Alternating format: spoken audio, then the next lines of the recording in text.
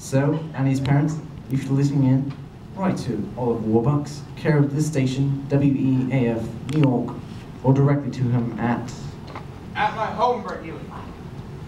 At my home. At my home, Bert Healy. 987 Fifth Avenue, New York, New York. That's 987 Fifth Avenue, New York, New York. And I'd also like to thank the makers of brand new Oxydent toothpaste with L64 to fight bad breath for letting me appear here this evening. Grace, Grace, I just did a commercial. I've never endorsed a product in my life. This is amazing. I love it. Good night, Oliver.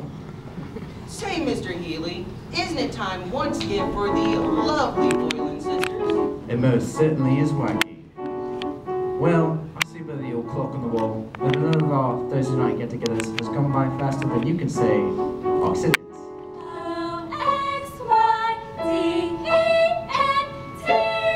The toothpaste of the stars. To make your teeth Hollywood bright. So, for all of the Our Smiles family, this is Bert Healy saying, Hey, hobo man, hey, dapper Dan, you both got your style, but brother, you're never fully dressed smile. Your clothes may be Beau Brummely, they stand out a mile, brother, you're never fully dressed without a smile. Who cares what they're wearing on Main Street or Savile Row? It's what you wear from ear to ear and not from head to